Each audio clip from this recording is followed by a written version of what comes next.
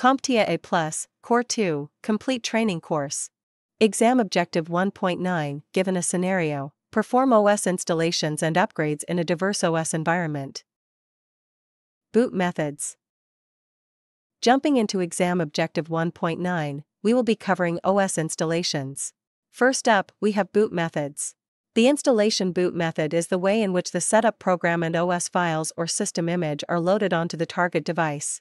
This is like choosing your mode of transportation for a journey. You can pick the one that best suits your scenario and needs. One of the most popular and versatile boot methods is the good old USB. This physical medium doesn't rely on network connectivity, making it a reliable choice for many. Imagine you've got a shiny new laptop but no internet access yet. Pop in a USB drive with the OS setup files, and voila! Your device is ready to get its new OS. USBs are portable, reusable, and can be quickly updated with the latest OS version. External solid state drives could also be used in a similar way. These drives are like the USB's faster, more durable cousins. Both USBs and external solid state drives are physical devices, require no network connection, and boast quicker read and write speeds. Next, we've got optical media, like CDs, DVDs, or even Blu ray discs. Although a bit old school, they're still present in some IT environments.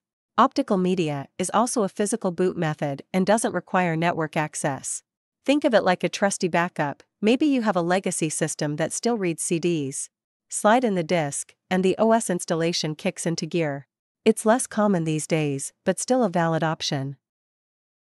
Now, let's get a bit techy with network based installations. This method requires a network connection and often utilizes a NIC, or Network Interface Card and PXE boot, or pre boot execution environment.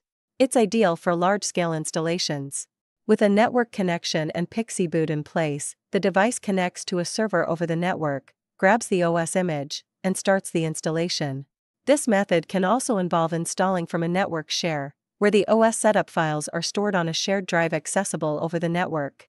Network installations are efficient for managing multiple devices, ensuring consistency and saving loads of time. Now, if you like the idea of network installations, why stop at your local area network? With internet based boot methods, you can download and install OS installation files from anywhere in the world. This boot method is for scenarios where you need the latest OS version without the hassle of physical media. Just connect to the internet, download the OS, and let the installation wizard guide you through. It's straightforward, but remember, a stable internet connection is key here. Lastly, we have the ability to boot using an internal hard drive. This involves setting up a dedicated partition on the internal drive that holds the OS setup files. It's a neat way to keep everything self contained within the device. When you need to install or upgrade the OS, you boot from this section of the hard drive, and the process begins. This boot method is particularly useful for devices that frequently need OS reinstalls or upgrades without external dependencies.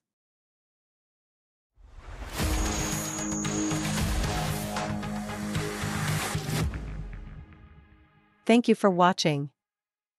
Subscribe for more great content.